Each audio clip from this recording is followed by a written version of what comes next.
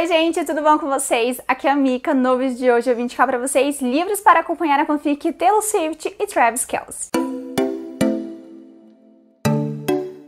Nas últimas semanas não se falava em outra coisa a não ser a maior fofoca do pop, a maior fanfic. A nossa estrela do pop em ascensão foi vista em jogos do jogador de futebol quarterback Travis Kelce, que tá no seu auge, já ganhou dois Super Bowls. E desde então não se fala em outra coisa. Todo mundo tá chipando esse possível casal porque eles estão sendo vistos constantemente. E eu sei que você, fanfiqueira e fofoqueira, assim como eu, também está torcendo muito para que esse casal saia do papel, se transforme de verdade. Por isso, no vídeo de de hoje eu trouxe uma seleção especial de romances com jogadores de futebol. Fiz essa seleção a dedo só de livros bem gostosinhos para você ler e para acompanhar essa fanfic de pertinho. Mas antes da gente começar, quero lembrar vocês que vocês podem ganhar cashback comprando os livros que eu cito aqui no canal, seja na Amazon, na Submarino ou outras lojas. Se inscrevendo no link abaixo no Cuponomia, você garante cashback nas suas compras, além de garantir já 5 reais de bônus se inscrevendo nesse link. Quando você completar 20 reais de cashback, você também já pode sacar esse dinheiro direto para sua conta bancária sem custo algum. Ah, e também tem cupom de desconto para você usar também nas lojas parceiras. É muito fácil, muito simples e uma ótima forma de você economizar. Então não fique de fora, já se inscreve e não perca essa chance. Recado dado, então bora falar sobre os livros de romance com jogadores que eu sei que vocês amam. O primeiro livro que eu separei para indicar para vocês foi Dangerous Lie da Liz Stein, que é um livro bem nesses moldes com romance de fake dating, a melhor amiga da irmã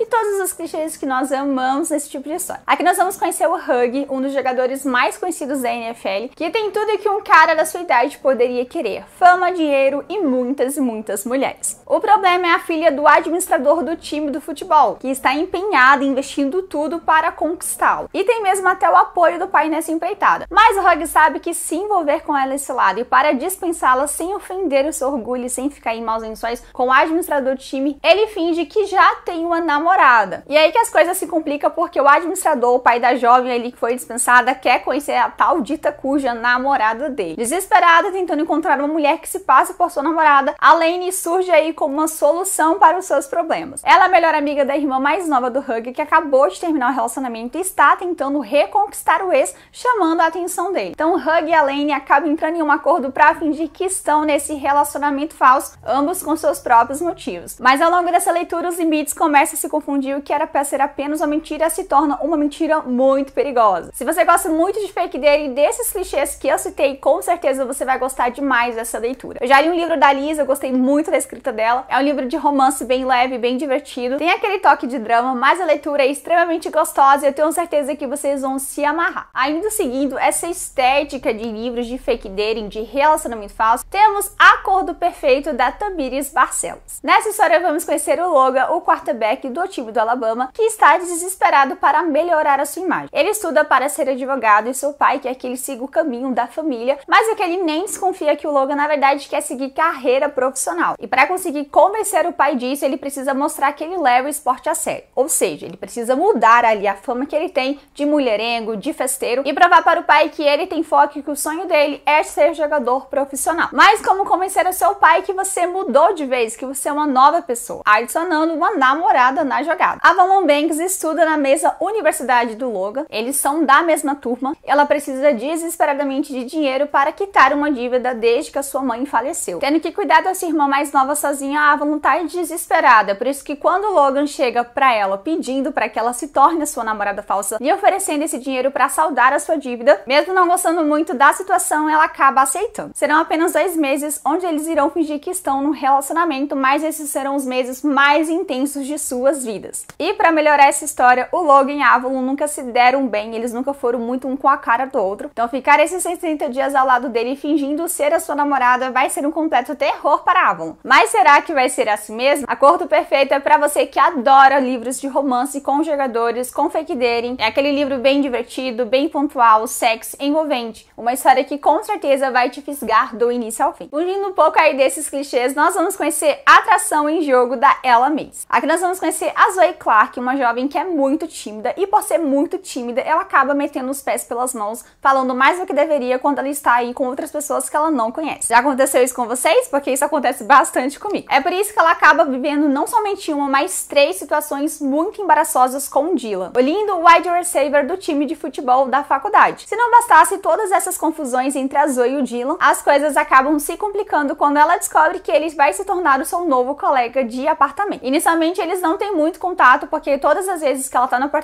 ele não tá, então eles têm bastante desencontros, mas os meses vão se passando e eles vão se conhecendo cada vez mais. A ideia inicial era ser apenas sua amiga, mas quanto mais a convivência entre eles vai se estreitando, mais a Zoe se vê completamente apaixonada pelo Dio. Porém, a vida deles não é tão simples assim, uma situação vai fazer com que eles coloquem essa atração à prova. E aí eu te pergunto, será que até o final dessa história eles vão conseguir resolver as suas diferenças? Quem já leu algum livro dela Base já sabe muito bem o que esperar das histórias dela. Com uma leitura muito leve, muito saborosa, cheia de tensão sexual, mas contudo na medida certa. É um livro muito divertido e eu tenho certeza que você vai se apaixonar completamente pelos personagens e vai se sensibilizar bastante com as cenas super constrangedoras da Zoe. Mais um romance nacional com essa pegada de Friends Loves é With You da Heaven Race. Aqui nós vamos conhecer a Cloud Calloway, que é a melhor amiga do quarterback do time de futebol da UCLA. Ela é uma garota bem nerd, meio low profile e super tímida e odeia futebol. Mas ela ama o seu quarterback, o seu melhor amigo Ashton. E desde a infância eles são completamente inseparáveis. O que coloca muito à prova essa amizade, porque todo mundo se pergunta: será que eles realmente são amigos? Será que não tem alguma coisa rolando por debaixo dos panos? Eles mesmos dizem que não, mas o que a Claude não sabe é que o Ashton é completamente apaixonado por ela há muitos anos. Porém, como ela tem muito medo de perder a sua amizade, ele nunca avançou esse sinal. Até que uma festa vai mudar completamente essa dinâmica. Isso porque a Claude vai começar a perceber o Ashton de uma forma diferente. Ela vai começar a enxergar ali coisas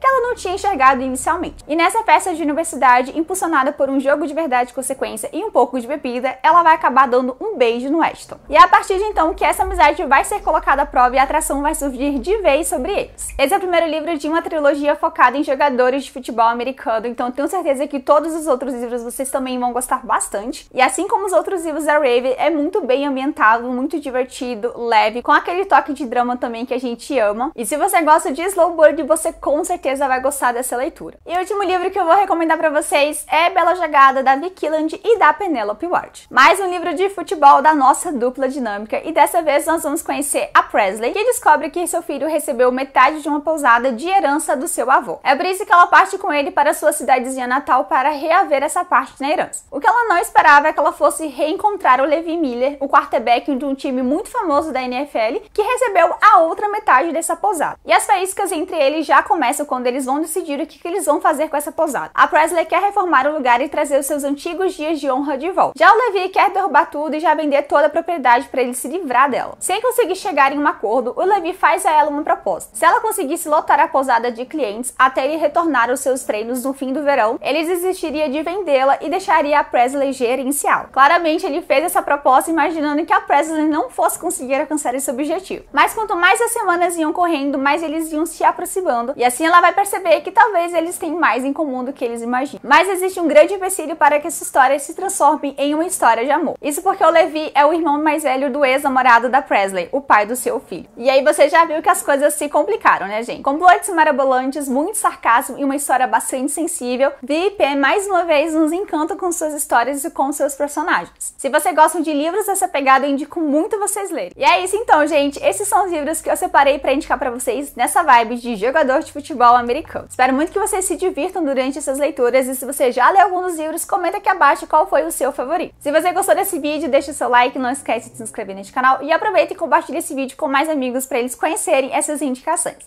A gente então se encontra no próximo vídeo. Um grande beijo, tchau!